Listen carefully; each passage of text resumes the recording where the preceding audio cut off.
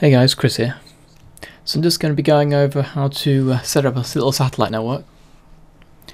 So we're going to have a large number of these little uh, little network nodes and these are going to be placed near the areas you're going to be working.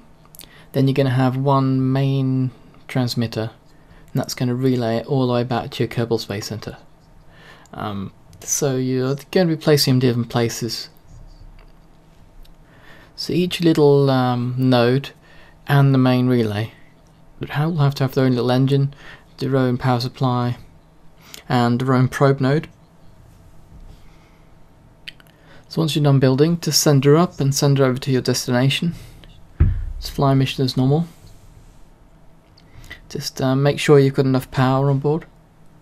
You're going to need to generate power on the way over. Um, all those relays are going to be sucking up power, which is a bit of a problem. So in this example I'm going to be uh, setting up a network around the Mun. The Mun's a bit closer than you really need to uh, be using a setup like this. Be perfect for Duna or somewhere. So when you come in you're going to want to um, set up your orbit and you want your low point of your orbit to be the area you're wanting to deploy little satellite nodes.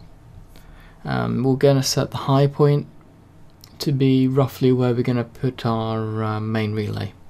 The relay is going to want a higher altitude. The reason for this is you're wanting your little network nodes to be close to where you're working, but you want your relay to be a higher altitude so that it isn't in the shadow of the planet or anything uh, too often. So after you've set up your orbit, you deploy your first node, and you're then going to uh, use a little engine on it to uh, put it into a nice circular orbit. The good thing about having a uh, lower periapsis than apoapsis is that uh, when you loop around, you're going to be at different points in the circular orbit.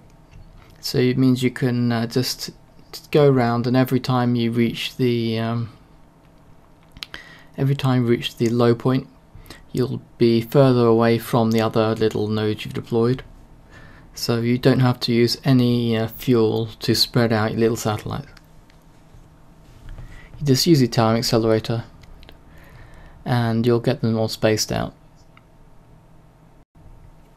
Once you deploy your little nodes you're going to want to maneuver your main relay out to um, a higher altitude